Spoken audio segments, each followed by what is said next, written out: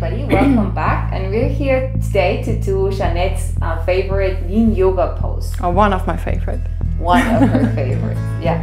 Okay, so, was machen wir? Schildkröte heißt diese Haltung, weil die Yin-Yoga-Haltungen immer ganz bewusst andere Namen haben als Yang-Yoga-Haltungen. Also das heißt die Schildkröte und es kann man auch ruhig wörtlich nehmen. Also wenn du sie versuchen möchtest, bringst du die Fußsohlen zueinander, lässt die Knie nach außen fallen und dabei ruhig die Fersen so ein Stückchen weiter weg vom Körper geben, sodass sich das angenehm anfühlt. Was wir im Yin-Yoga auch machen, dass der Rücken rund werden darf. Also du kannst jetzt ganz bewusst den Rücken rund werden lassen, schauen, wohin dich das führt.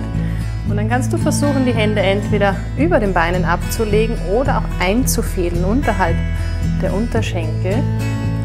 Und vielleicht möchtest du auch einen Block nehmen, den du zwischen den Fußsohlen platzieren kannst. Also im Yin-Yoga probieren wir ganz viel aus, was hier gut passt. Den Kopf stützen und hier richtig loslassen. Das kann man auch gut, indem man die Handflächen einfach nach oben zeigen lässt und ganz aus der Kraft rausgehen und dann eine Position finden, in der du zwei, drei Minuten oder vielleicht sogar länger bleiben kannst und dich dann in dieser Schildkröte ohne Kraft hinein verkriechst und dort bleibst und dich ganz auf deine Atmung fokussierst. Nach dieser Zeit dann ganz behutsam, ganz langsam dich wieder aufrichten und aus deiner Schildkröte herauskommen. Ah.